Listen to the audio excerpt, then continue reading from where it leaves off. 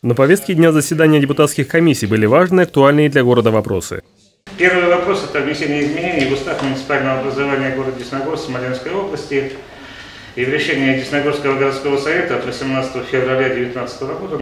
В соответствии с утвержденным регламентом, ранее по этому вопросу были проведены публичные слушания. По итогам этих слушаний, на которых присутствовало более 100 человек, в устав города было предложено внести изменения. Принятие решения по данному вопросу вынесено на сессию городского совета. Был рассмотрен вопрос бюджета города на 2019 и плановый период 2020 и 2021 года.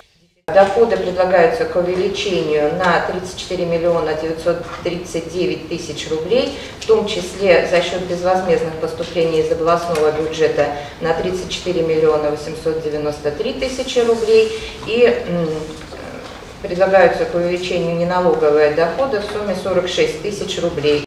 В связи с этим планируется увеличение фонда дорожного строительства и дорожно-транспортного комплекса. Также дополнительное финансирование получат программы развития образования, развития культуры и молодежной политики. Городской бюджет исполняется согласно прогнозу и установленным нормам наполнения. Отчет подготовлен в рамках полномочий администрации муниципального образования города Десногорск Смоленской области, утвержден соответствующим постановлением а, главы муниципального образования представлен своевременно, не противоречит действующему бюджетному законодательству и муниципальным правовым актам. Кроме этого, депутаты ознакомились с отчетом главы муниципального образования города Десногорск о результатах его деятельности. О проделанной работе глава сообщит на сессии Десногорского городского совета. Олег Соловьев, Виталий Степанов, Светлана Разганова, Десна ТВ.